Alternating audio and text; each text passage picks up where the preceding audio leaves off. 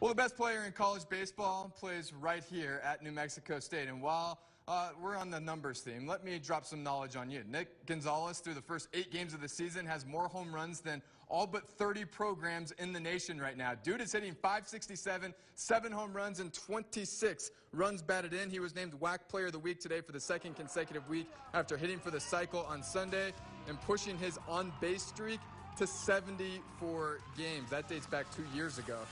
Uh, that, my friends, why he's going to be a top five pick in the 2020 MLB draft. At least that's what Baseball America is projecting. The number four selection by the Kansas City Royals, as they're uh, seeing it. 26 RBI is 10 more than any other player in the country right now. The Aggies, they're going to play Arizona State on Tuesday, looking to move to 9 0 on the season. Natasha?